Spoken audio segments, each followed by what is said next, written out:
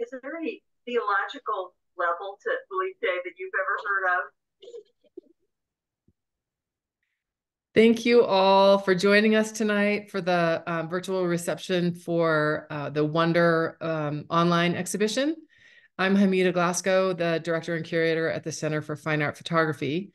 And I'm really excited to um, hear from the artist tonight and hear from Douglas uh, about how he selected the show and, and the selections. Um, the idea behind the show was really about um, sort of in some ways going back to the basics, like photography is about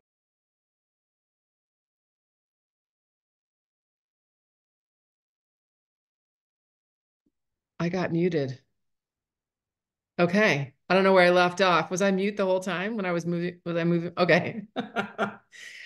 uh, I was so I was saying that you know the, the the going back to the beginning, the idea is um about wonder is you know photography in a lot of ways is about what we give our attention to and what we you know what we're attracted by what compels us what catches our eye.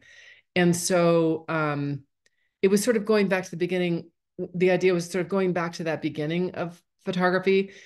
Um but also just um you know these days the news is just so overwhelming. Um it was also the idea of like you know what gives a joy? What is you know what are the joys in life? And it's so much about for me anyway and for a lot of people the, this idea of wonder like of you know looking at something with that you know the the the um the idea of awe and and those are the times i think that make life special. Uh, it's the little moments but it's also those moments of wonder. And so that was the idea behind the show.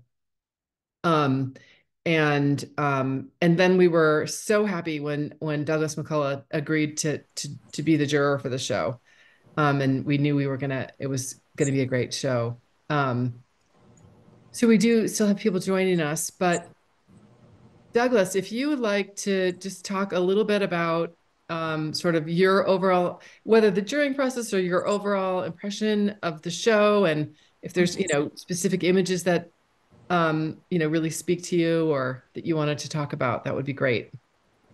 Yeah, sure. I'll jump in. So, um, Doug McCulloh, I'm I'm a senior curator at the California Museum of Photography, which is the uh, photography museum of the University of California. So I'm so in the belly of the beast of the University of California, and have had a lifetime in photography essentially.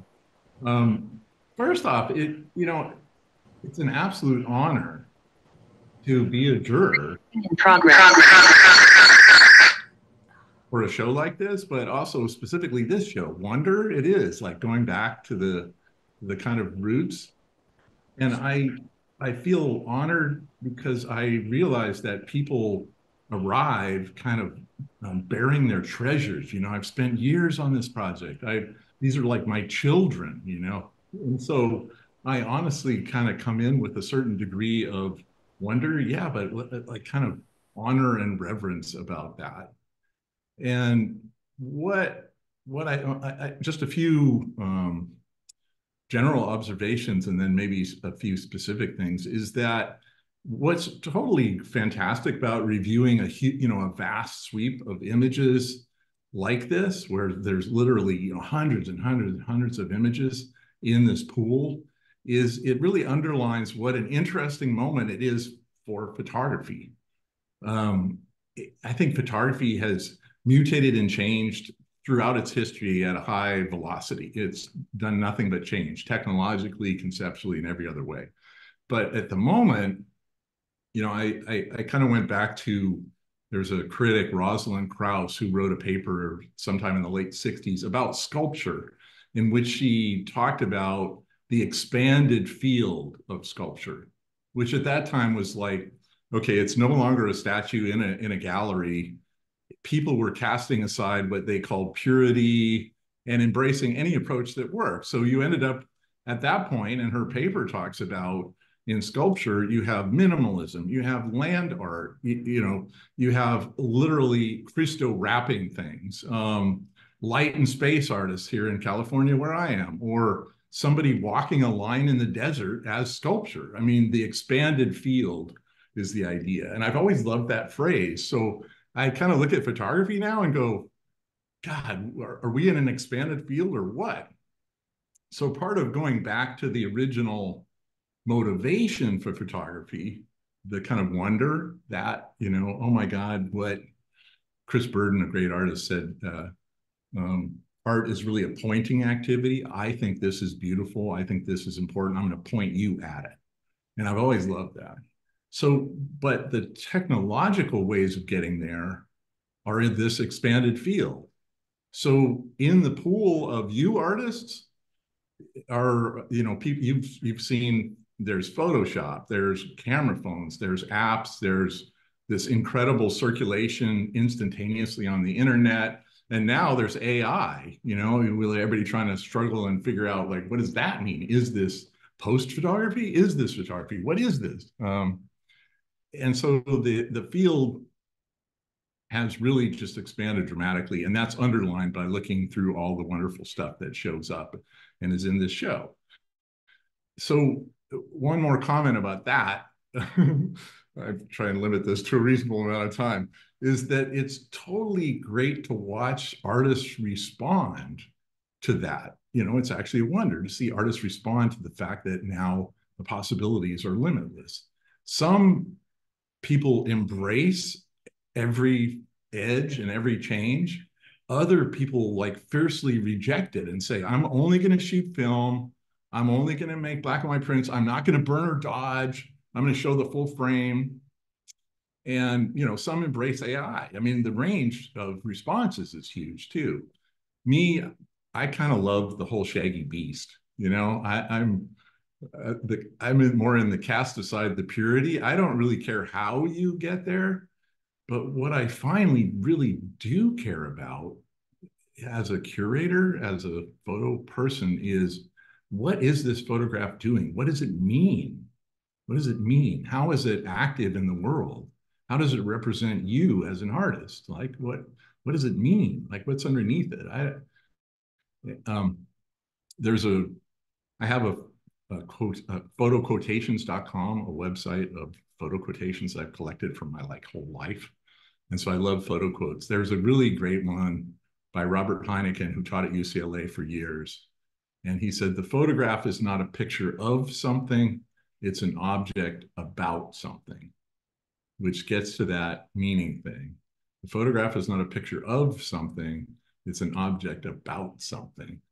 I love that. It's like, okay, it, it, I mean, that really kind of cuts to the heart of it.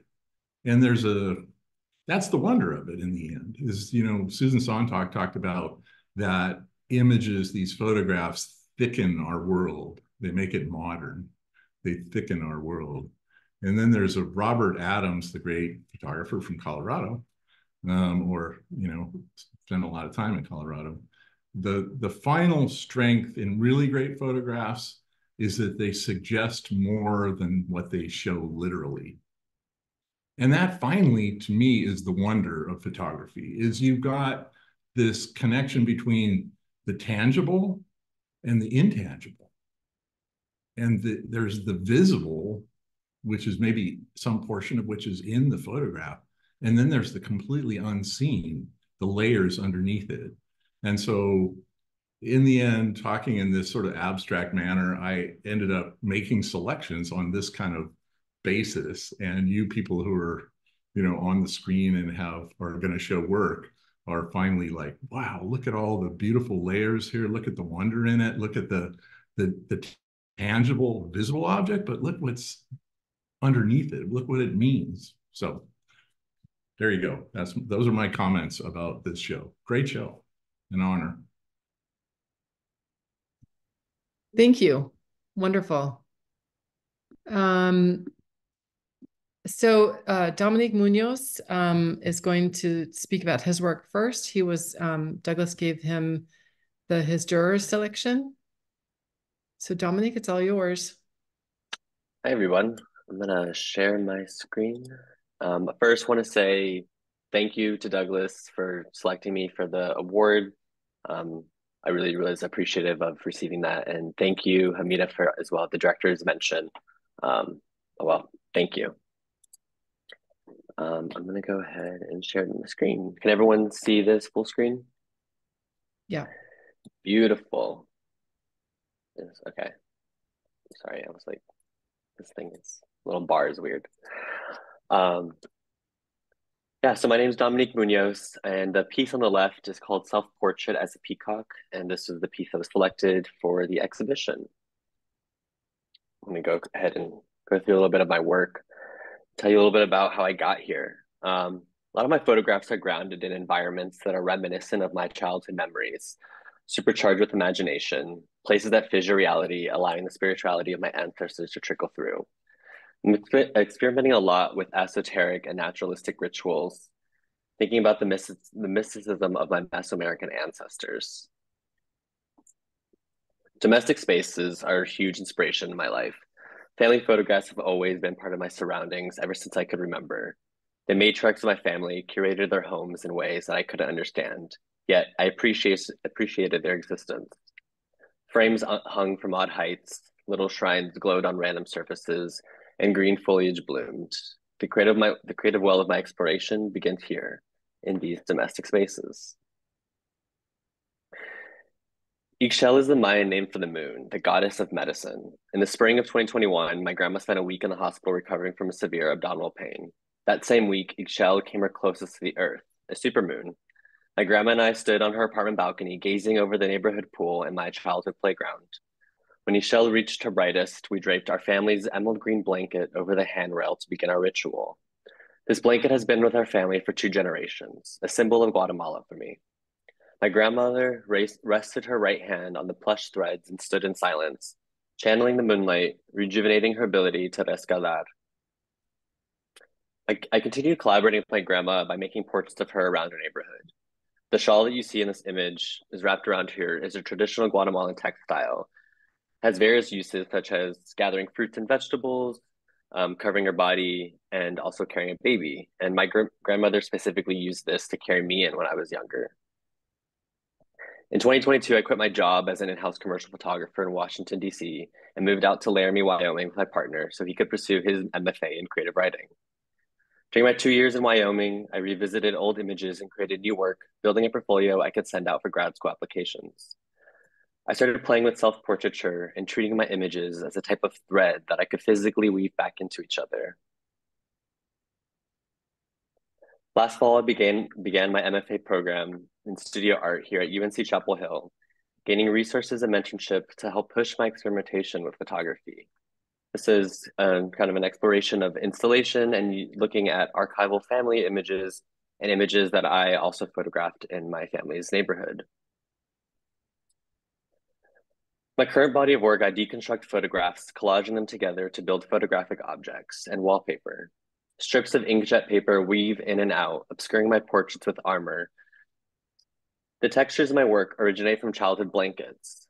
With backdrop stands and strobes, I photograph these textiles as a method to conjure and honor the spirits of my Guatemalan matriarchs.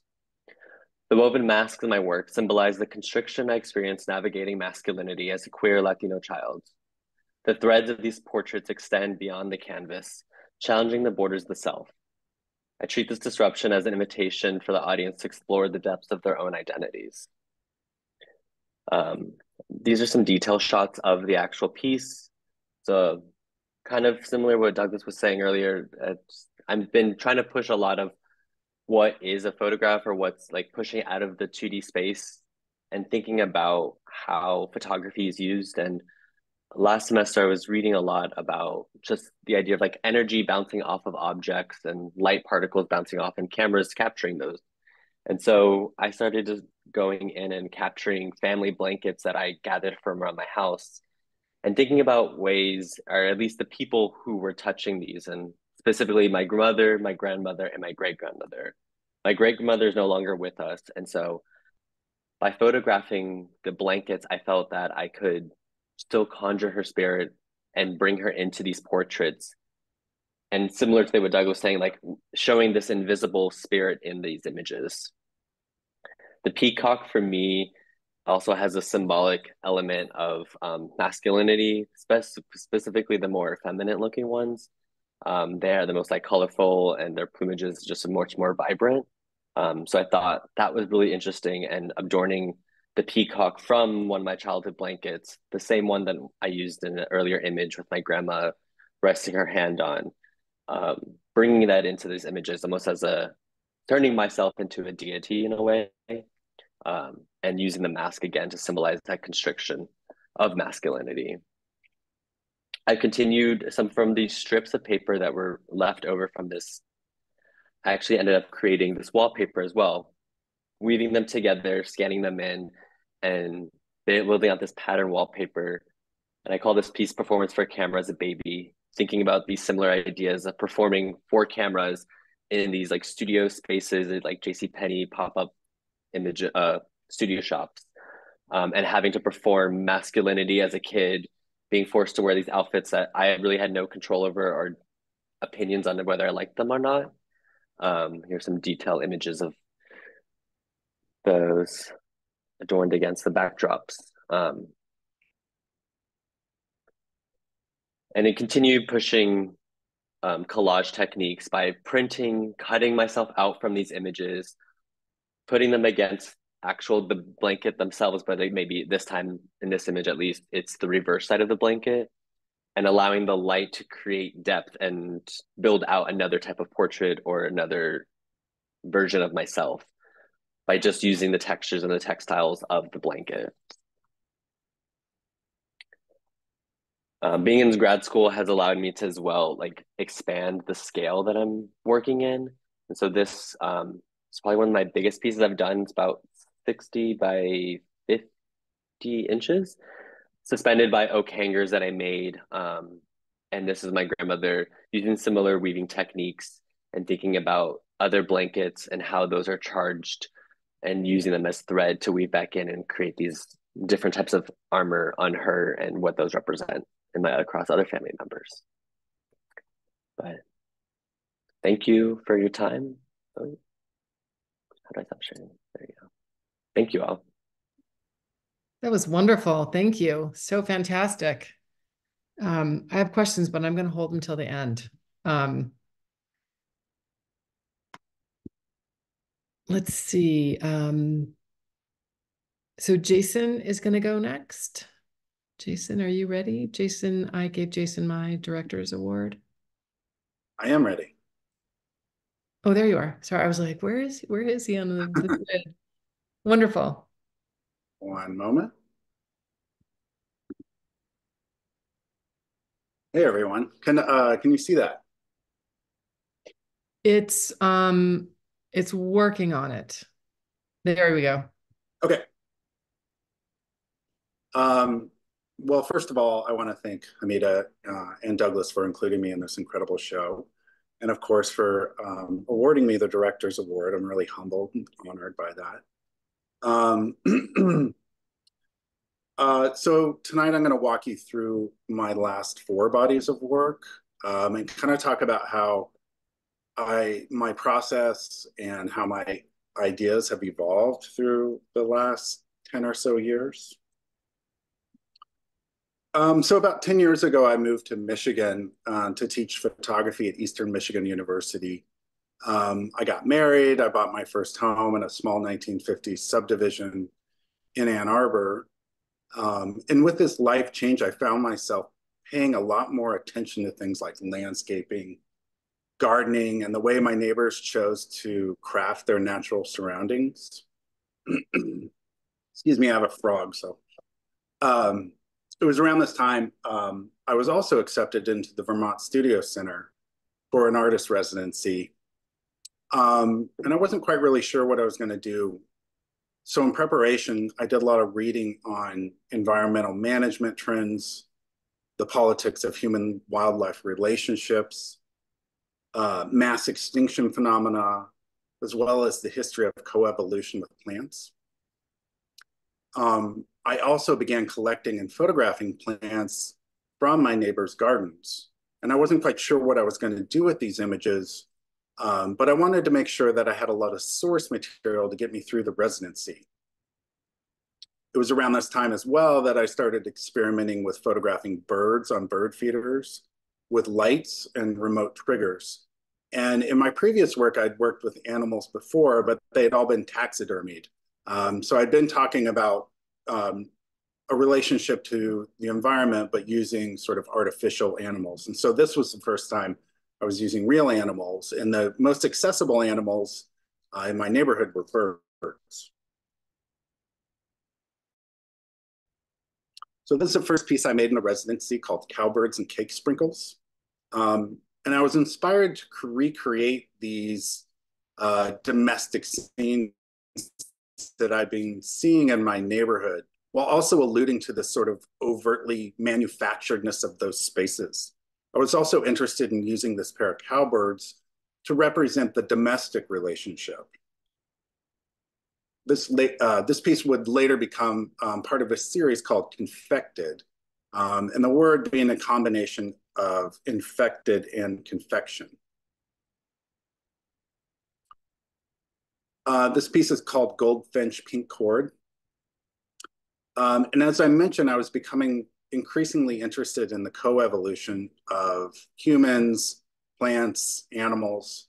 And after reading The Botany of Desire by Michael Pollan, I became fascinated by the idea that plants could and have used us to propagate and flourish. So um, I started looking at the history of genetically modifying plants to look better and our cultural desire to improve on nature. So with this series, I'm commenting on that cultural desire to idealize the natural world, and I'm exploring this veneer of material desire and constructed natural beauty by creating fictional tableaus to speak of a state of disenchantment. So this idea of improved is important as it's used as the same model for marketing products, bigger, brighter, sweeter, more colorful, new, improved. Um, to me, um, the birds in the work act as observers. They look back at the viewer and invite contemplation but they're also perfectly adapted for this sort of new mashed up commercial world they find themselves in.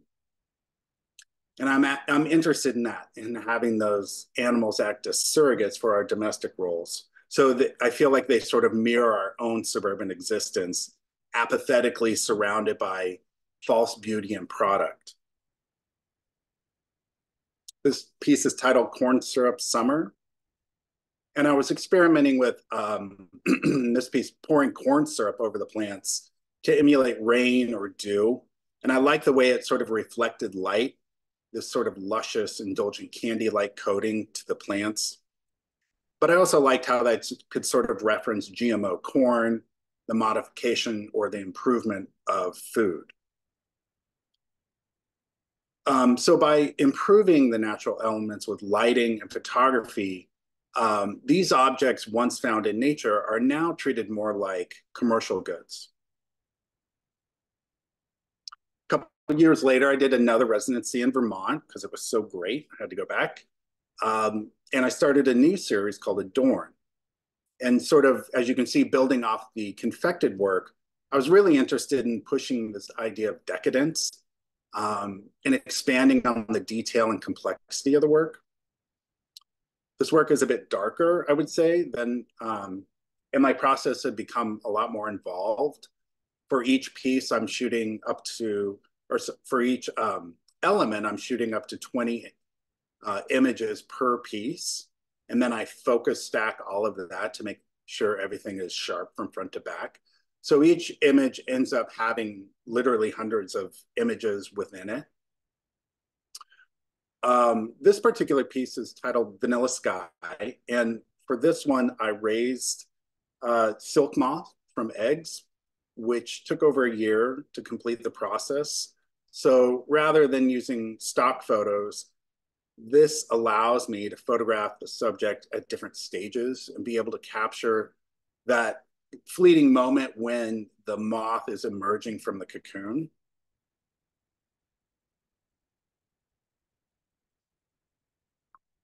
There's a few studio images uh, of the Cecropia moth. And if you've never seen these, the caterpillars are amazing. They have um, like this rainbow colored spikes running down the back of their back that look almost like little pieces of candy. Uh, here you can see on the left um, the caterpillar. And this ended up uh, as part of a repeatable wall mural I had uh, in a show in Detroit. This piece is titled After the Deluge. And here, um, the deluge is a shower of Home Depot paint that I color matched to the um, peony stems that I had purchased. Um, as you can see, the work's getting a little darker. I was interested in creating more of a, a tension between that sort of romantic beauty of the dramatic vanilla skies, and then in this case, the paint drenched finch that's sitting on the flower. Um, I think all of the work in this series points to a tension between disaster and beauty, and I would say that for all of my work, really. Um, it gets this one in particular gets its title um, from the historic painting of George Frederic Watts, which depict the sky after the story of Noah's flood. Um, and I was interested in this idea of cleansing after a time of immorality and the sort of tension in representing that aftermath. Also, of course, um, I liked how the story of the flood plays into the role of climate change and ri rising sea levels. So I see the work as sort of a, a fictitious aftermath from an overindulgent culture gone awry, where the world's been so impregnated with our goods that it's become part of its very fabric.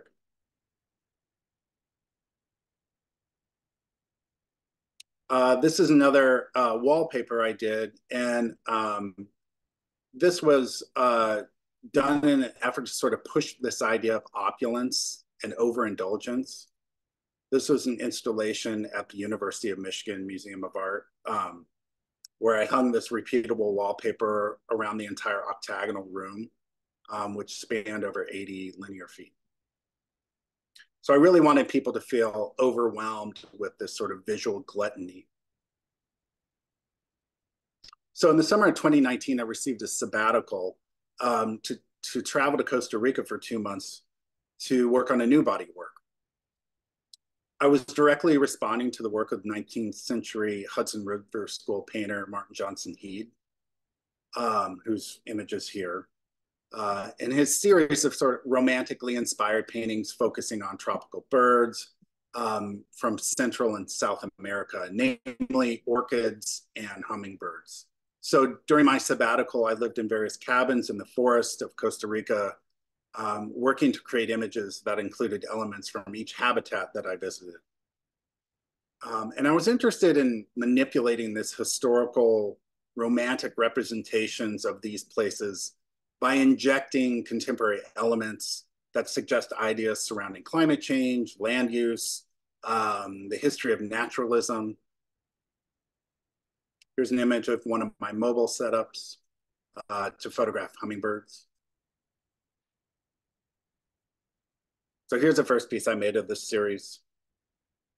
Um, and part of what attracted me to Heade's work was the way that he could represent nature as a sort of raw and foreboding element. I, I embraced that darkness in the work, and I was interested in referencing this era of naturalism that portrayed nature as untamed and mystical, the source of power, um, but also contrasting that with our modern, almost micromanagement of this world. This piece is titled Mountain Gems and Gummy Worms. If you look closely, you can see gummy worms um, on the branch there. In many of these, I'm including a volcano in the background to place tension in these seemingly quiet, seductive scenes. Again, that idea of um, referencing apathy in light of impending destruction. So during this time, I was also photographing for a second series I later called Tangential.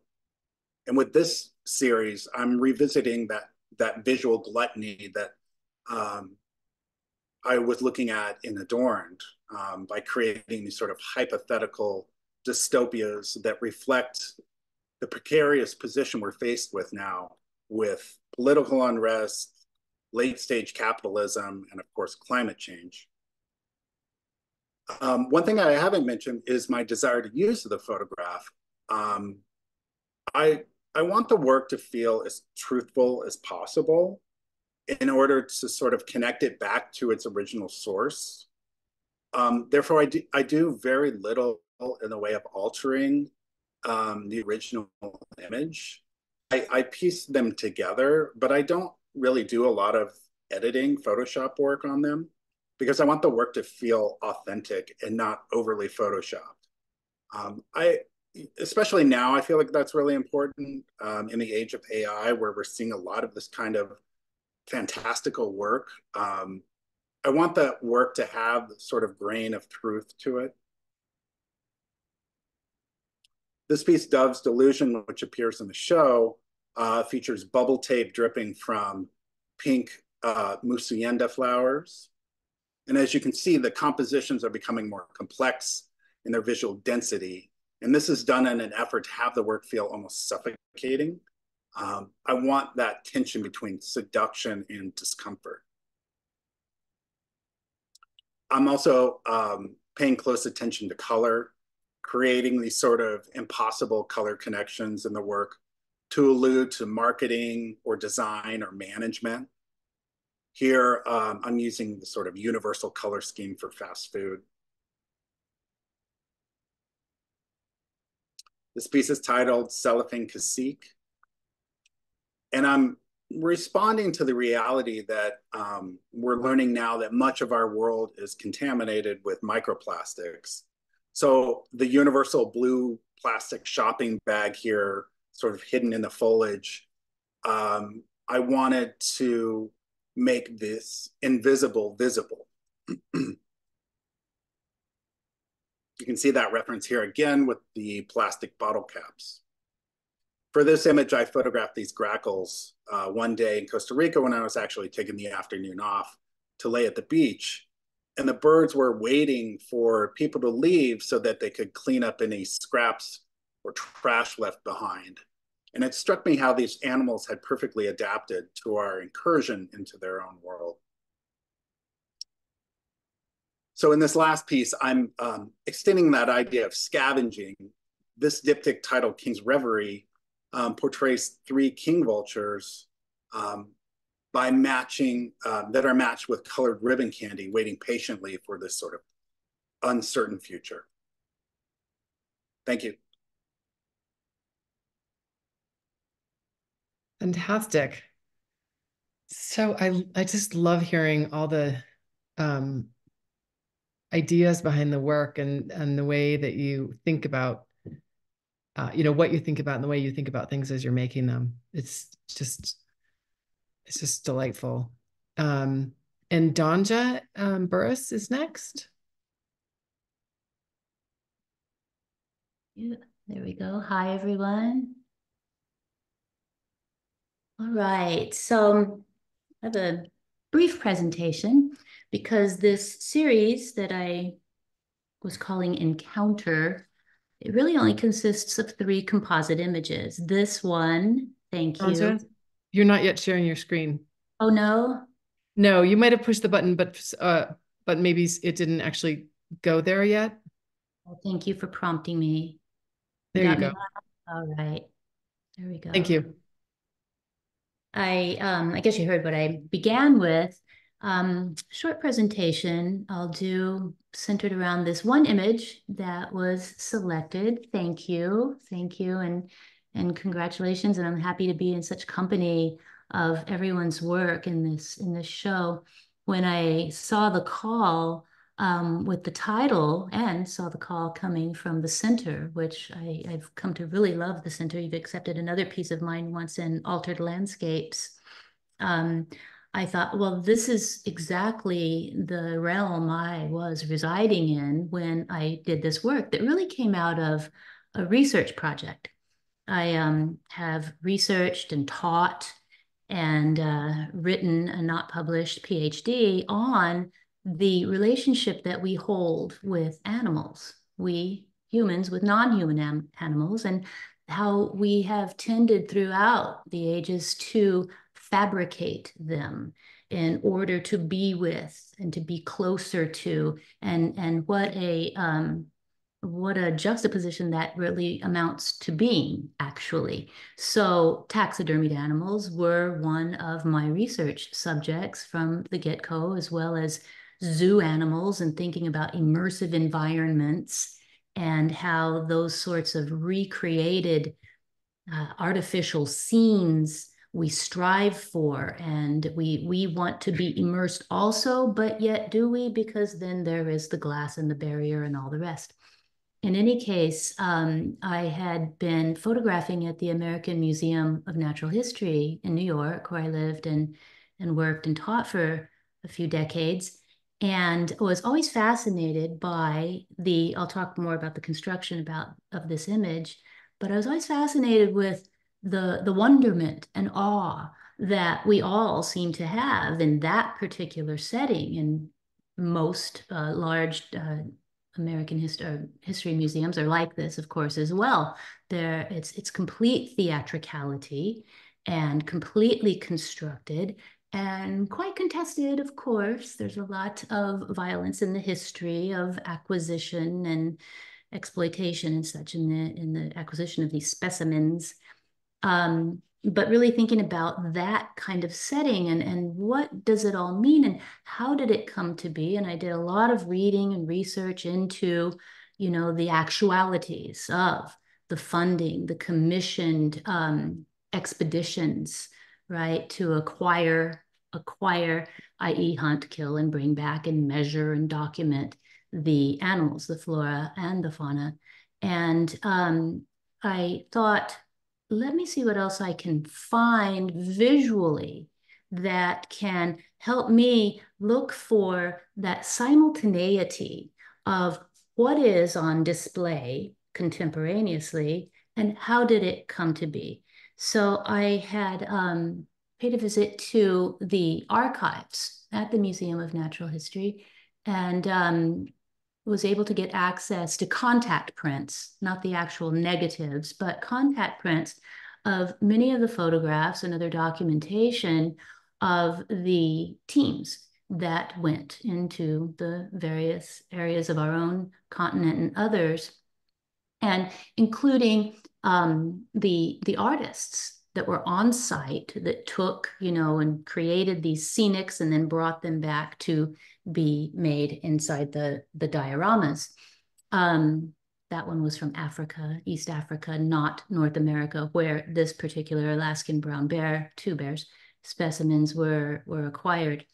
Um, the imagery from the construction of that particular diorama in the American Hall of Mammals um, was photographed in 1941 and reveals reveals what's concealed, right? Another uh, dogma of photography, if you will. And I thought, well, that's it. That that's the simultaneity. How can we see that? You know, um, I don't know if if all of you, I know I do. I look very carefully and see, well, that's artificial and that's artificial, and I say, oh, what am I talking about? It's all artificial. I mean, originally, you know, it's the, the skin and, and such is preserved, but it's all artificial. But here's the behind the scenes, you know, and there's the theatricality again. Um, and then there are all these these clues and other research guides, you know, gift of Boone and Crockett Club. Well, does that mean Daniel Boone and Davy Crockett? And in fact, it does. Those were the homage names that the group that Theodore Roosevelt, another contested figure, patron saint almost of the American Museum of Natural History, was the first president of, and that exists to this day, 134 year history promoting um, conservation through hunting, etc. So in any case, I thought, how can I bring these details into now this this back of the photograph didn't make it into my my resulting composite, but more of the unseen, you know, um, who who wrote the notes and who was the photographer? And turns out this Charles H. Coles did much of the photography prior to the installation of this particular and others in the the Hall of Mammals uh, diorama in 1941 and uh, I thought, well, okay, I, I work a lot with imagery whereby I'll photograph a scene and then I'll print it on a, a clear, transparent medium. And then I'll go to that same scene, usually a landscape, particularly an artist residency I did at Chaco Canyon in the Four Corners area a few years back. And I'll photograph through the photograph on the transparency. Again, looking for that, that simultaneity and to try to achieve that, at least thinking about, if not tangibly visible, that, that ineffable that exists between the two. So this is Photoshop, it's composited. I didn't use that technique that I do in, in much of my other work, but I thought it's important to not try to make this look real because everything's real. If you think it, if you imagine it, it's real to some extent at some moment in time as, as you experience the visual, right? So let me keep the sharp edges. Let me, let me put it as if it's layers. Layers in Photoshop is meant to be exactly that, but not, not seamless. Let's show how the the moments in time, these, these ghosts, if you will, of some of the embedded past is still there, if only we can acknowledge and think of it. Um, so in some ways, I thought that the technique was a little bit rough, but I also thought I'd like to see that. I'd like to know that. I'd like to not see these two moments in time separately.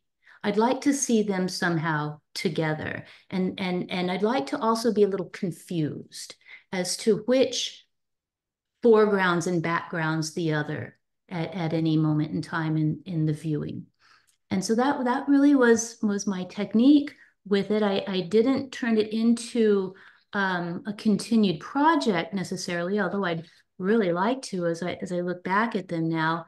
Um, there were only two others that I put together, and one involved the uh, photograph of the a gentleman here painting the scenic back at the museum, not not in the field as such, with a photograph of a, a young boy, really in awe of the the uh, mountain goats that he's seeing in the in the photo, and one other that again is very very simplistic but I also thought it, it had a power for me to to show the two photographs of the same object, the same reanimated animals and recreated scenes, but a little off register, suggesting that isn't it all just a little off register as much as there's this striving for perfection, you know, in the filling the skin of the animal with a, a, a sculpture type um, substance and then placing and building the whole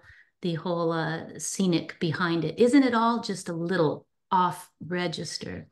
Um, so again, it, it was it was it came out of research, and it's something I'd like to do much more of. I just want to take some more time and and get some different imagery. You know, maybe get to the actual negatives where I can do something like the the the compositing but shooting through a a transparency rather than rather than the traditional compositing in this way. Um, but once again, it um, you know we and it's rephotography as well. You know, I I come back and forth thinking, do I really adhere to that tradition or not? You know, the holding up of the scene, and then there's the real the old scene and there's the street scene behind it now. Um, I, I think it still resides in that tradition a little bit. And, you know, funny enough, as I got ready to do this tonight, I went down a rabbit hole. I thought, you know, I actually don't know who the expedition crew was that acquired those bears. I knew all about Carl Akeley and the he he set up the halls at the American Museum in the first place and went to East Africa and all the documentary filmmakers and everything else. Turns out they were from Alaska. Don't know exactly who they were from, uh, which hunter, because there were many who were sent out.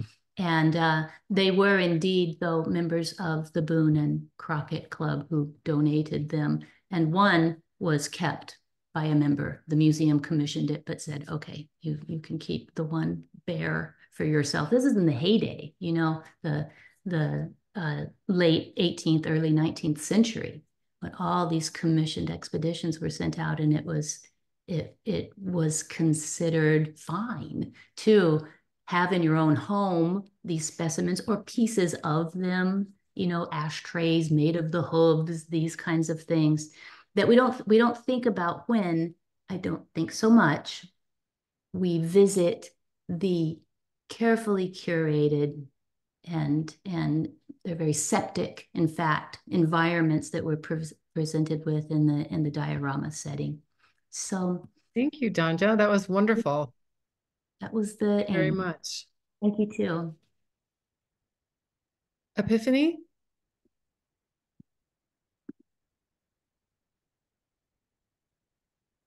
Epiphany couch it's your turn. Hi.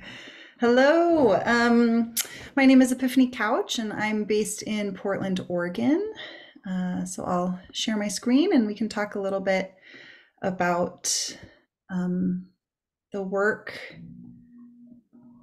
that was selected for this beautiful show. Um, I really did love this show. Um, in the past, I've had some work in virtual shows where I was like, that's you know that's a show. Um, but this this work all of the other artwork um, was incredible and uh, being able to to speak with douglas um, about the work was also a, a, great honor. So i don't want to take up too much time here because um, I, I put together just a, a deck about this particular work that was chosen for this show but um, as I said, I'm, I'm based in Portland, Oregon, and I've been an artist since I was three when I defaced my mother's um, Greek mythology textbooks with um, drawings of dancing people. So um, she's very pleased now that I'm an actual artist and that those uh, mythology books weren't um, defaced in vain. But a lot of my work um, is connected to my family. I'm very close with my family. I explore um, generational knowledge, uh, storytelling, our connection to the metaphysical. Um, and I'm trained as a bookmaker and a photographer, so my work oftentimes uh, goes both into bookmaking and photography, um, collage, and um, so I'll just kind of jump into to the work legacy.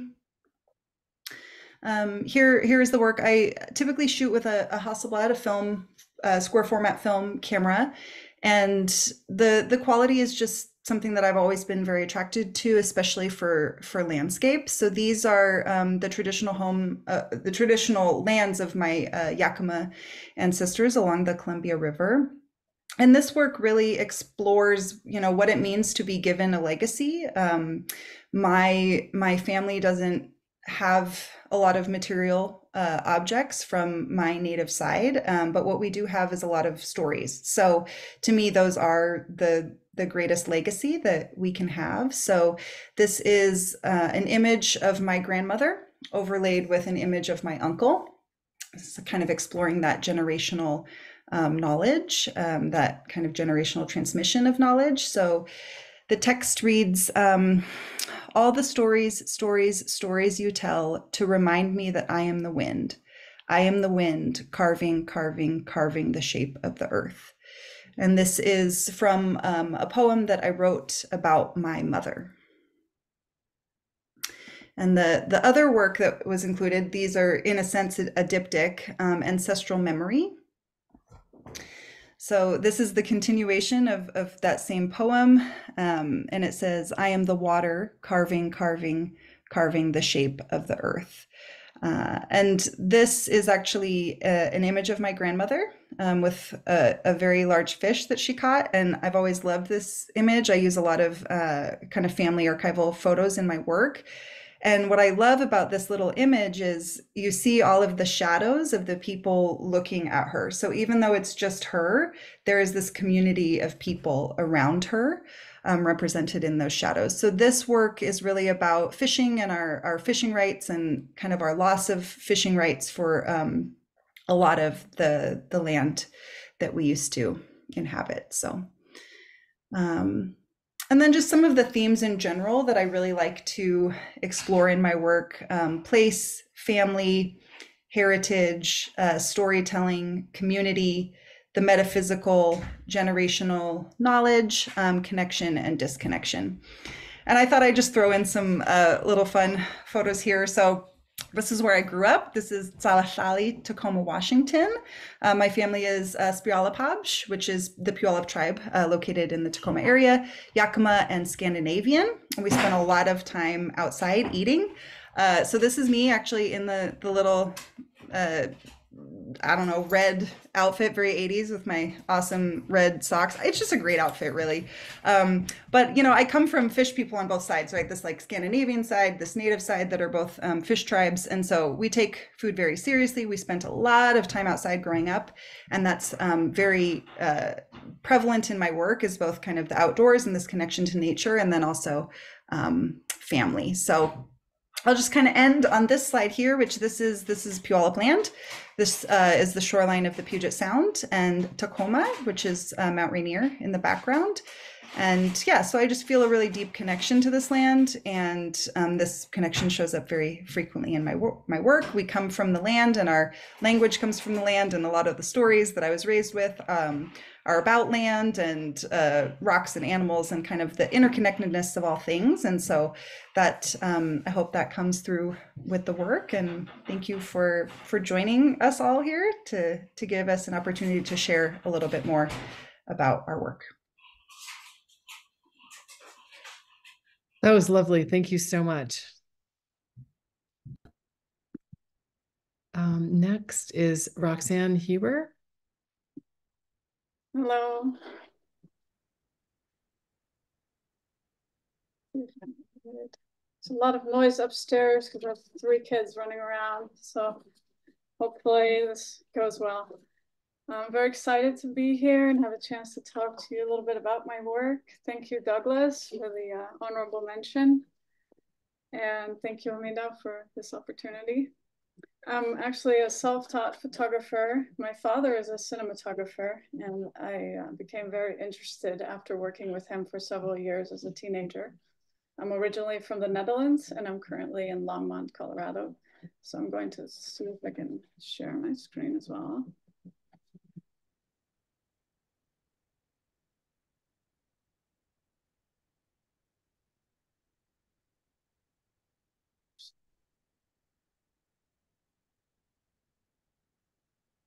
Sorry. Robert, finding later. Okay, share.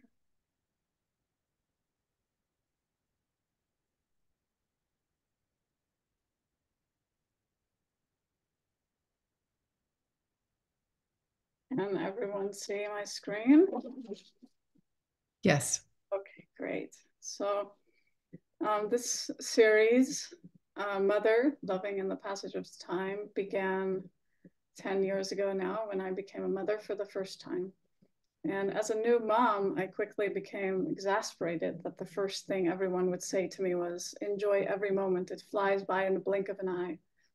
And this kind of comment, though well intentioned, always evoked a, a fear of loss in me. And it's actually taken me quite a while to figure out why that was. I would just become sort of anxious and annoyed and when people would just constantly remind me that it's going to fly by um, it actually created a disconnection from the here and now. And so instead of enjoying the moments with my children i became very emotionally attached to the passage of time. And i still often imagine uh, my future self feeling a deep sadness for the loss of the life that i'm actually still living uh, which leads to constantly feeling pressured to be present and not miss anything. This anxiety about time passing while my kids continue to change in front of me led me into a sort of obsession with understanding the concept of time. I began researching the subject, but it wasn't until I read a book, The Order of Time by the Italian theoretical physicist Carlo Rovelli, that I understood the nature of my own work. In the book, he writes, perhaps the emotion of time is precisely what time is for us. And when I read that, I realized that I wasn't photographing time or the passage of time as a, a document or a record, but rather the emotions that I was feeling as a mother in relationship to the passing of time.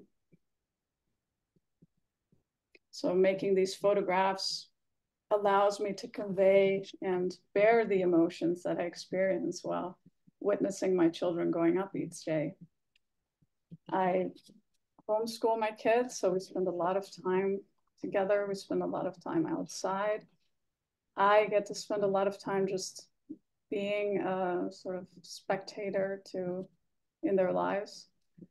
Um, I like to watch them just be themselves and go into these um, worlds of their own. So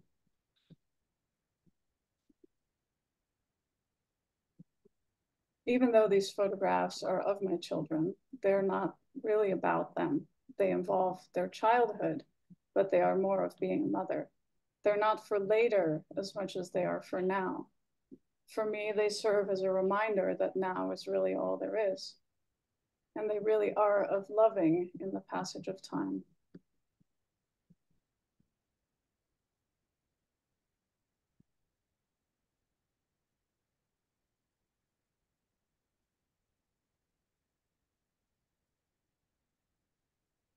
So for me, taking the photographs in a way helps keep me present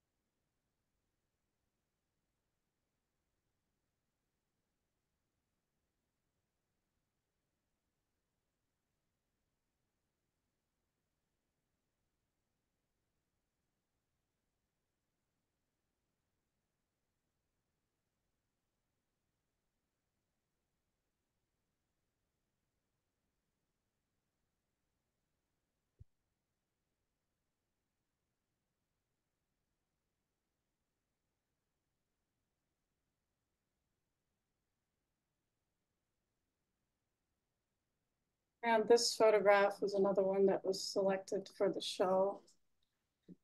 It's actually earlier on in the work. I believe this one was taken in 2015 um, of my first daughter. This hammock was actually um, my husband's hammock when he was a little child, and it's come all the way from Brazil. So this photograph has some family heritage. Thank you so much. It's really beautiful, Roxanne. And I think this is the last one.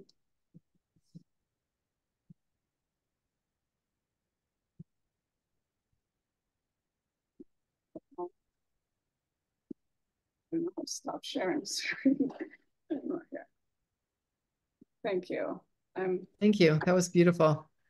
It's it's very. Um, I started as a poet, so it's very poetic work, and it makes it very difficult to talk too much about it because it's really a, a feeling journey for me. Yeah, that makes sense. Uh, Mitchell, Squire, are you ready? I shall be. Hi, everyone. I really appreciate an opportunity to talk to you, uh, even though I'll only um, talk about a few photographs.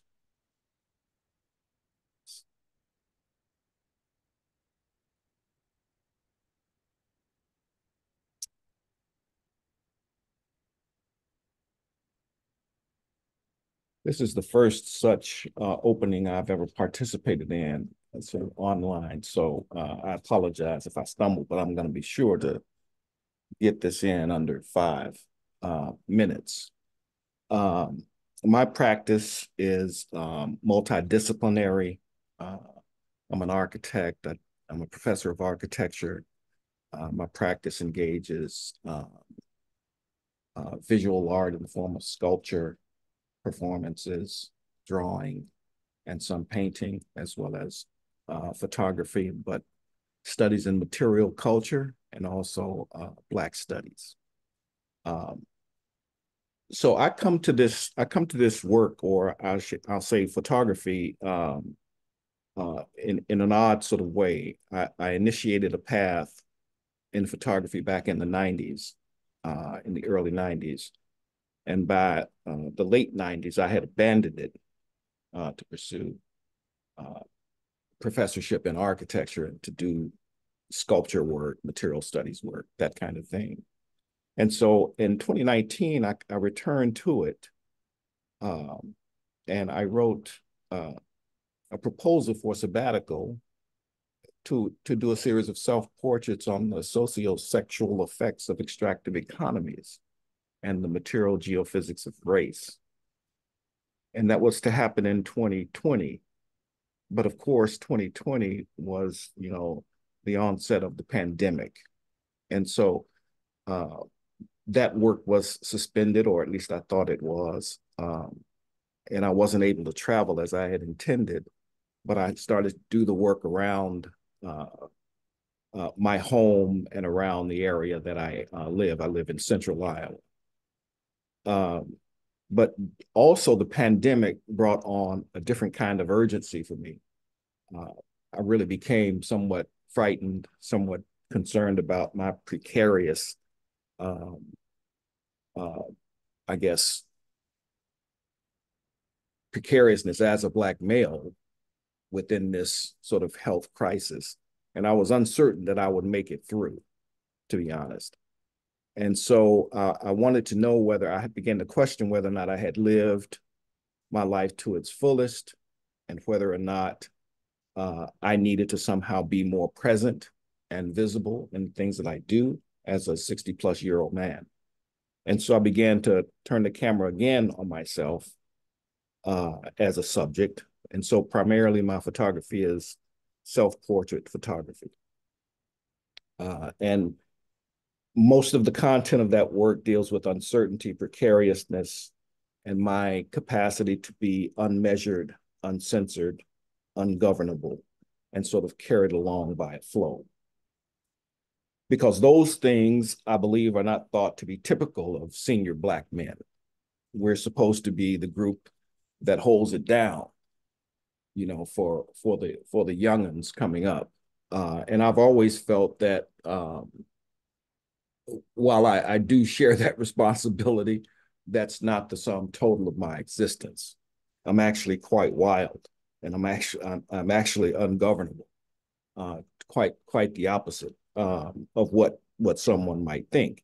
And so I find myself also questioning whether or not um, the discipline of photography or the field of photography, uh, aside from some of the earlier, I would say, racialized uh, productions of photography about Black men, I was beginning to wonder whether or not enough of us had been seen, whether or not enough of us uh, had been seen in a full way, and whether or not that's always some other kind of depiction. And so my work was an attempt, has been an attempt since 2020 to sort of uh, reckon with my own uh, sense of security, as well as to contribute to um, the canon, I guess, of, of photographic images about Black men. Um, so uh, what I what I think I can say about this particular image, which represents, I would say, I, I think I made this last fall. Um, this one I made the previous spring. And these two I made in 2020 in the fall. They they for me represent uh, trying to grapple with whether or not I can make provocative, never before seen images of senior blackness, using myself as, as the subject. Uh, it was important to me to try to make an unprecedented image because I'm sort of dealing with that as a subject. So I, I guess I can I can always find images of uh 65 year old black men that uh uh you know in a as I say in my artist uh, statement in a in a pharmaceutical commercial. Well, that's not me. Uh, or or even though I use quite a few pharmaceuticals, uh, that's not me. Or or in a you know the the Samuel L. Jackson type of you know blackness or the Denzel Washington. You know, I'm just a cool cool motherfucker who you're not gonna mess with, right? Uh, I can I can portray all of those things, and and I think all of those things are part of my identity. But I wanted to somehow capture a, a different part of me. And when I say unprecedentedness, I'm actually referring, uh, or at least I'm using Elaine Scarry's uh, thesis about beauty and being just. Um, and, and what happens when a person comes face to face with a beautiful thing.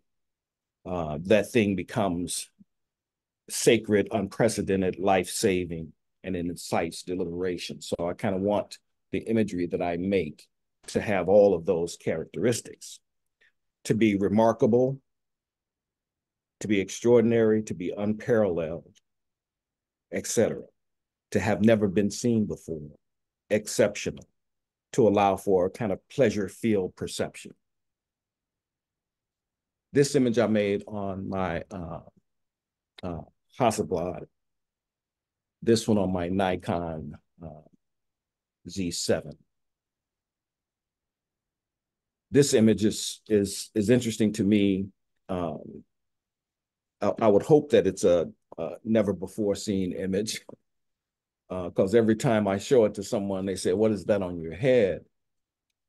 Uh, and I say that's a frozen fish. It's a red snapper. And uh, I, I, took the I recently took a large uh, print of these this image to get framed, and even the framer himself, who's seen quite a bit of my work, uh, said, why would a person put a frozen fish on their head?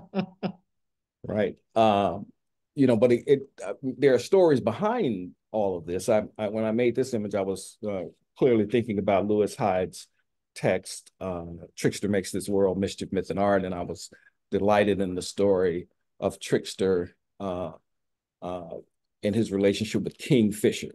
You know, come come upon King Fisher, he witnesses him fishing. Uh, he says, teach me how to do that. Kingfisher is hesitant. Uh, uh, no, I'm not going to teach you how to do that. You're just going to mess things up. This is my way. This is not your way. And uh, Coyote said, well, teach me anyway. And he said, no, I won't do it. But he says, come to my house. Coyote tells Kingfisher, come to my house tomorrow. I'll fix you. I'll prove to you. I'll, I'll, I'll get fish and I'll, uh, I'll cook you a meal. Kingfisher was hesitant to come, clearly. Um, and so as he was on his way to Coyote's house, Coyote goes out and tries to fish like Kingfisher fishes.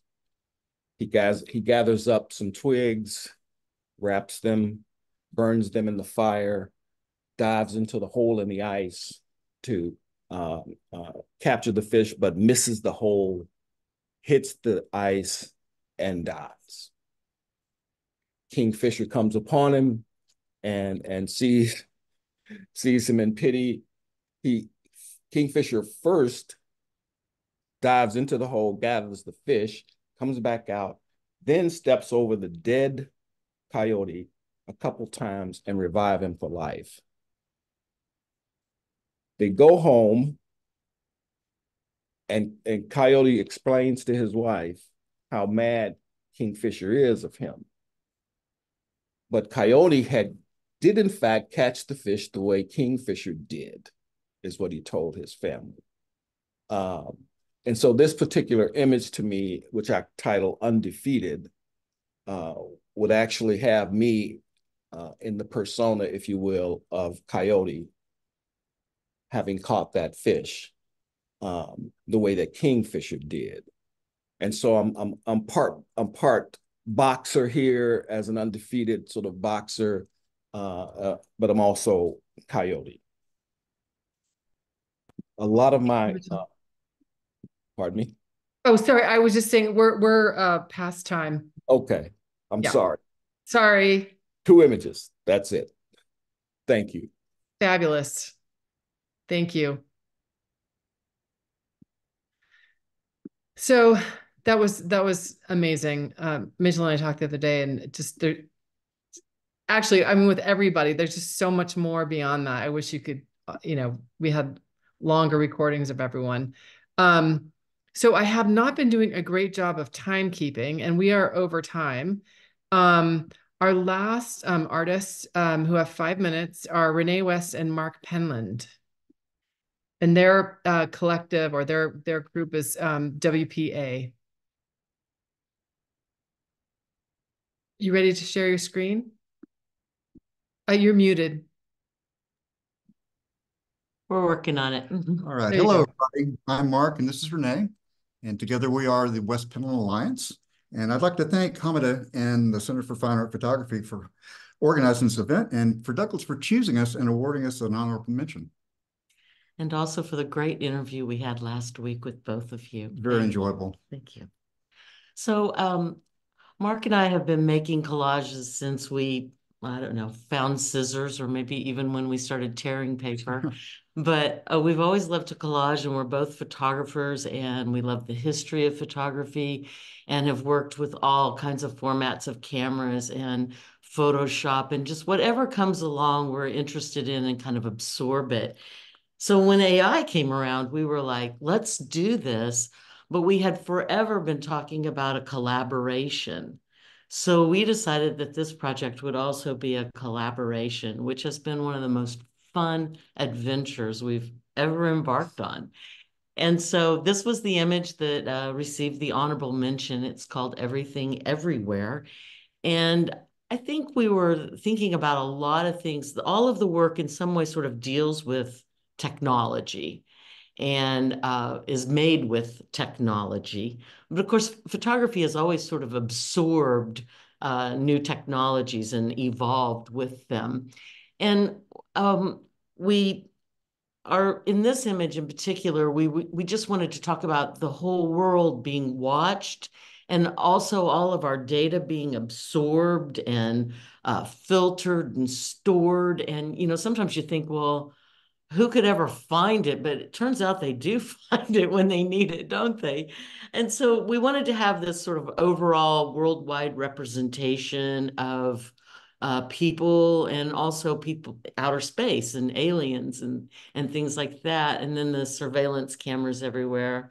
The guy, to me, the guy sort of represents Oz. You know, he's the guy behind the Right, curtain exactly, that's yeah. controlling everything. And and um, we were thinking when we were trying to uh, prompt for a computer, we were li- looking for uh, a man with his back to us that uh, was at something like an old ENIAC or something, you know, like the first computer. So we wanted something really big and and um, sort of cumbersome. And and then we just started generating all these portraits from all over the world. And I I, we needed some way to connect them. And I, I was really thinking about, to be honest, of the way Boltanski would use wires hanging down from pictures from the Holocaust, right? And so we started kind of generating some of that to kind of weave and tie it all together.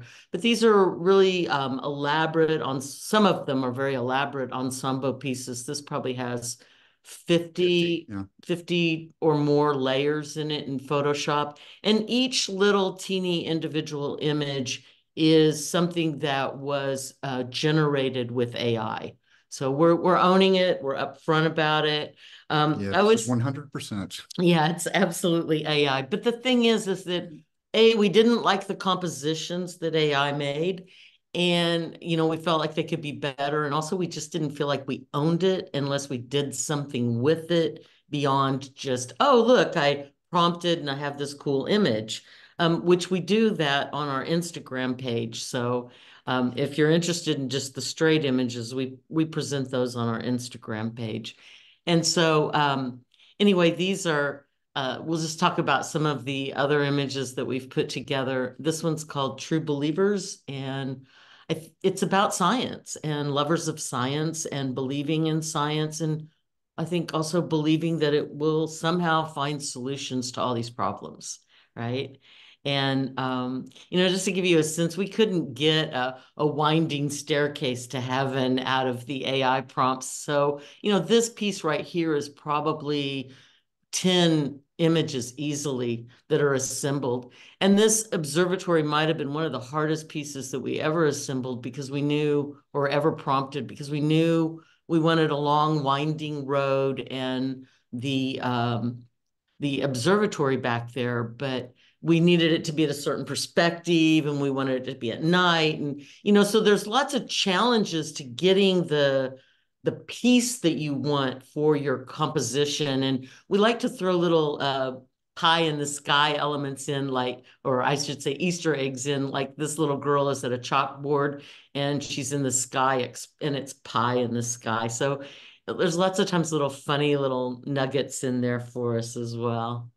So anything you want to say about that? Now we're at five minutes, so we're going to honor that. Oh, are we at five? No, we're not at five minutes yet. Are we? Four minutes, 20 seconds. Okay, well, so we'll just run through some of these real quick. Then this one's called Submerged, and it's about global sea level or global sea rise. And this one's called Endemic, about uh, the ep the uh, epidemic of loneliness. And this one's called Taming Tigers. Um, I don't know what it has to do with technology. this one's about bot farming. And this one is uh, called Sleep of Reason and how sometimes things seem so reasonable when you're thinking about them, but they're so futile and um, impossible at the same time. And of course, it's a reference to Goya and the sleep of reason produces monsters. The big monster. Fantastic. Thank you so much. That's the last Thank one. you. Thank you, everyone. And all the artwork has been so amazing. Wow. Wow. We're such it's such an honor to be included. Yeah, such great, great artwork. Do we have any questions? We've had a lot of great comments in the in the chat, but I'm wondering if there are any questions for any of the artists. We had planned for the talk to go to 6:30, um, and we have like 10 more minutes. So any questions, comments? You can unmute if you want to just speak. Any of the artists have observations about I think it's work? this has been an amazing show. My name's Jane Gottlieb. I'm so impressed with how far all of these artists have gone beyond photography and created their new and uh, each one has a new art form that's their unique form and vision and really creative vision. I'm very inspired by this group. I, I thank you for doing this and including me in the show. Thank you. Yeah, it's um I I go back to what Douglas said in the beginning. It's such a exciting time in photography um with the all the ways that people are making work, you know, photo-based work. And and and I I love um you know this I'm with Douglas like I I love all the things that people are doing and the way that people are incorporating all the different techniques from different decades. And um and so yeah it's very exciting. And and you're right there's so many of the artists in the show are are doing that. And makes it really exciting. Thank you. Yeah, I'll just say that I'll, I'll repeat the comment that I love the whole Shaggy Beast of photography, and um, I'll, I'll, I'll attribute it to it was that whole that phrase, the whole Shaggy Beast. I love, love the whole Shaggy Beast was John Szarkowski, who was the curator of photography at the Museum of Modern Art for years. And he, at, at some point, somebody asked him, "Well, what you know, what do you what do you love?" And he just listed the long quote is like everything. He listed everything from, you know, street photography to col- new color to photograms. I mean, it goes on and on and on. And then he pauses and says, I love the whole Shaggy Beast. It is a shaggy beast it's very shaggy these days. And so this whole group, obviously everybody who's spoken, exploring different aspects of shagginess, you know, I, I love it. yeah now only yeah it'll, th- I love that we'll, we'll- next time we'll see an image somewhere and we'll say that's absolutely shaggy Or somebody right now is putting the phrase shaggy beast into AI, right? Into, you know, Right. and seeing what, see what you get. You can do it in five minutes, right? We had a shaggy beast in the last image. You know, when you mentioned Robert Heinecken, I thought about how he talked about there was already enough photographs in the world and he could just, you know, he just used other people's. And um, I thought, what would he think of AI? I know, he'd probably be like, great, man, that's the ultimate version. Yeah. He would just go crazy. Yeah. There's a German photographer, I can't remember their name right now, who said, no more photographs until the old ones are used up. I've always, I've always loved that, you know? I don't know, we're looking at various people who are collaging. Dominique, you know, I mean, you're using a self-portrait and then photographs of artifacts or blankets and so on, but essentially you're like using and reusing your own photograph. So the idea of, you know, we have enough photographs and no more new ones until the old ones are used up. That kind of captures this part of the shaggy beast of the moment. Oh. I feel like there's a haiku in here somewhere. Probably.